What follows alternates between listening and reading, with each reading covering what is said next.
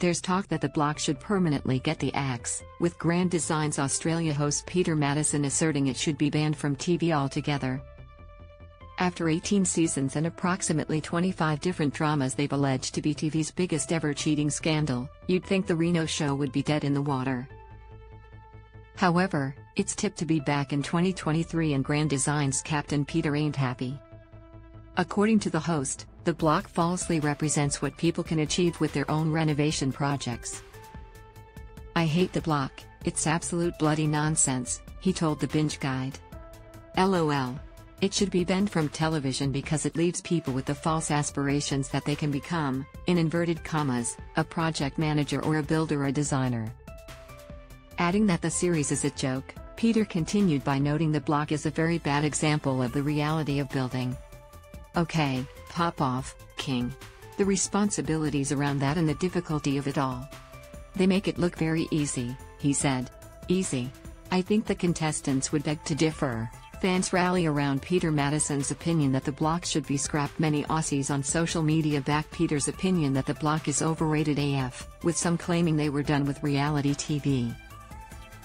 It's sometimes hard to tell the difference between the block and Married at First Sight with all the drama they invent. It used to be a good show, one user wrote. Another claimed the renovation series is mostly unrealistic. What these shows don't show is what happens when there is a hiccup in resolution, and still maintain schedule and budget. A third declared that the whole show should be banned. Meanwhile, others said tradies have been condemning the block for years. And tilers cop some of the most hate is now everyone thinks they can just throw a tile on the wall and it will be all good. So why pay tilers good cash? They continued. Nothing is ever smooth with Reno's, sick, it's always way more involved than people think and then they want it for the price of chips. The backlash comes after the 18th season was shrouded in drama, with some teams failing to complete their build. As such, host Scott Cam admitted that something's gotta give, teasing a big change for the next iteration. Want even more goss? Listen to episode 249 of the So Dramatic podcast with Megan Pustetto below.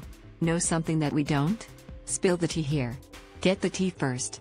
Follow So Dramatic on Instagram and tune in on Tuesdays to get your reality tea fix with the So Dramatic podcast with Megan Pustetto. Indy Brumelin January 24, 2023 Indy Brumelin digital content producer Indy is an OG member of the So Dramatic online team and spends her days delving into the nitty-gritty of reality TV's most chaotic drama. When she's not on the clock, you can find her binging TV thrillers on Netflix and dancing around the kitchen to Elton John.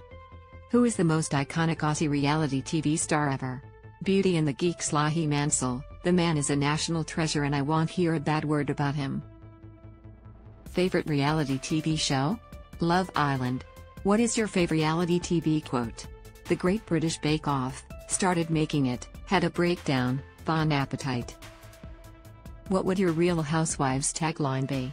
If I cut you off, it's because you handed me the scissors. Contact, Indy at Media. Com.